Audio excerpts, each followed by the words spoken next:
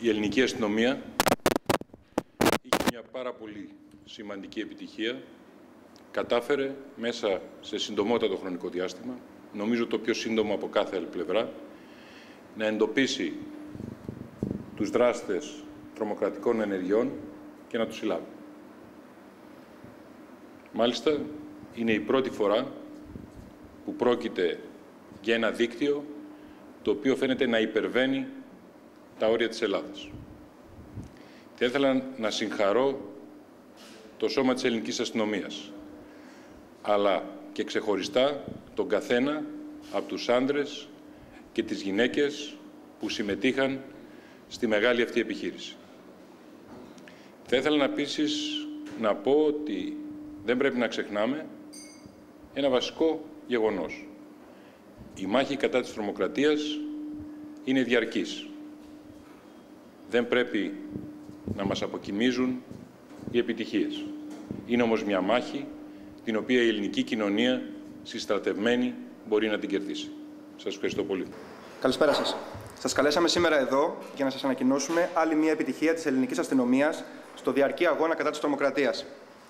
Η αντιτρομοκρατική υπηρεσία, μετά από αστυνομική επιχείρηση, προσήγαγε χθες από τη Θεσσαλονίκη δύο άτομα προκειμένου να εξεταστούν ως ύποπτοι για συμμετοχή σε τρομοκρατική δραστηριότητα. Πρόκειται για ημεδαπού άντρες ηλικίας 30 ετών που κατοικούν στη Θεσσαλονίκη και δραστηριοποιούνται στον αναρχικό αντεξουσιαστικό χώρο.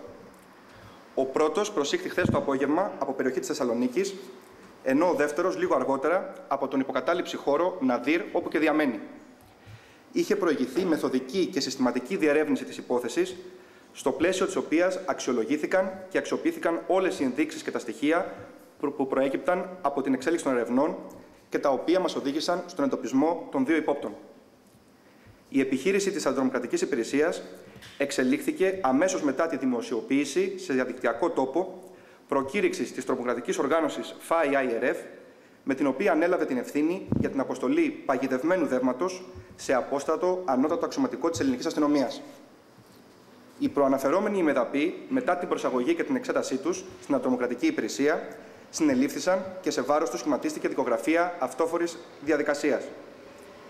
Από την έρευνα προέκυψε η συμμετοχή τους σε τέσσερις πρόσφατες ενέργειες που αποτελούν μέρος γενικευμένου σχεδίου διάπραξης τρομοκρατικών ενεργειών με την ονομασία Σχέδιο Φίνικας, τιτλοφορούμενες κατά περίπτωση ως Σχέδιο Φίνικας πράξη πρώτη, πράξη δεύτερη, πράξη τρίτη και πράξη τέταρτη, εκ των οποίων η πράξη τρίτη έλαβε χώρα στην Τζακάρτα της Ινδονησίας. Η πρώτη ενέργεια του σχεδίου ήταν η έκρηξη βόμβας στο αυτοκίνητο της Διευθύντριας των Φυλακών Κορυδαλού την 7η Ιουνίου 2013 στην περιοχή της Δάφνης Αττικής. Την ευθύνη για την ενέργεια αυτή ανέλαβε με προκήρυξη η τρομοκρατική οργάνωση Συνομωσία Πυρίων της Φωτιάς.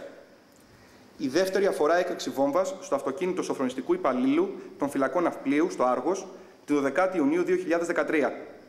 Την ευθύνη για την ενέργεια αυτή ανέλαβε με προκήρυξη η άτυπη αναρχική ομοσπονδία ΦΑΗ Διεθνής Συνομωσία Εκδίκησης.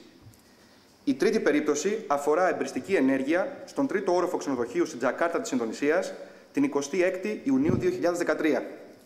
Την ενέργεια αυτή ανέλαβε η ΦΑΙ-IRF ως χειρονομία αλληλεγγύης σε Έλληνα απεργό πείνας που ήταν προφυλακισμένος για συμμετοχή σε τρομοκρατική οργάνωση, ενώ η σχετική προκήρυξη τελείωνε με τη φράση Α κάνουμε το σχέδιο Φίνικας ένα διεθνές σχέδιο εκδίκησης. Η τέταρτη τρομοκρατική ενέργεια αφορά αποστολή σε απόστρατο ανώτατο αξιωματικό της ελληνικής αστυνομίας παγιδευμένου φακέλου, ο οποίος εξεράγει στις, την 3η Ιουλίου 2013 εντός των εγκαταστάσεων του Κέντρου Διαλογής των ΕΛΤΑ στο Κρυονέρι Αττικής. Την ευθύνη για την ενέργεια αυτή ανέλαβε με προκήρυξη η ΦΑΙ-IRF. Σε έρευνες που πραγματοποίησε η Αντρομοκρατική Υπηρεσία, βρέθηκαν και κατασκέθηκαν μεταξύ άλλων τα ακόλουθα. Χειρόγραφο κείμενο που αποτελεί προσχέδιο προκήρυξης που αναρτήθηκε την Δευτέρα 11 Ιουλίου 2013 για την τελευταία τρομοκρατική ενέργεια. Φάκεροι προπληρωμένου τέλους των ΕΛΤΑ για την αποστολή δεμάτων, χωρητικότητας έως 4,5 κιλά βάρους ο καθένας. Τσεκούρι με, χίλινη, με ξύλινη χειρολαβή. Μάλινη κουκούλα τύπου full face. Σκληρή δίσκη αποθήκευσης ψηφιακών δεδομένων. Φορητές συσκευές αποθήκευσης ψηφιακών δεδομένων. Φορητοί ηλεκτρονικοί υπολογιστές συσκευές κινητών τηλεφώνων, μονάδες ηλεκτρονικών υπολογιστών, συσκευή καταγραφής εικόνας, 27 ξύλινα κοντάρια, 3 κράνη μοτοσυκλετιστή, πλαστική αντιασφυξιογόνα μάσκα, πολυμηχάνημα και βιβλία αναρχικού περιεχομένου. Σε βάρος του σχηματίστηκε δικογραφία κακουργηματικού χαρακτήρα για ένταξη και συμμετοχή σε τρομοκρατική οργάνωση, τέλεση τρομοκρατικών πράξεων, απόπειρες ανθρωποκτονίας από πρόθεση, εκρήξεις, διακεκριμένες περιπτώσεις φθοράς ξένης ιδιοκτησίας, εμπρισμούς, κατοχή και προμήθεια εκρηκτικών υλών και βομβών. Επίσης, η δικογραφία αφορά και άλλα πρόσωπα, τα οποία κατηγορούνται για ηθική αυτοργία στις προαναφερόμενες τρομοκρατικές πράξεις. Οι συλληφθέντες θα οδηγηθούν σήμερα στον Εισαγγελέα Εφετών Αθηνών. Υπενθυμίζεται ότι για οποιαδήποτε πληροφορία οι πολίτες παρακαλούνται να επικοινωνούν στους αριθμούς κλήση 170, 1014 και 1964 της Διεύθυνσης Αντιμετώπισης Ειδικών Εγκλημάτων Βίας. Εξασφαλίζεται ανωνυμία και το απόρριτο της επικοινωνίας. Σας ευχαριστώ πολύ.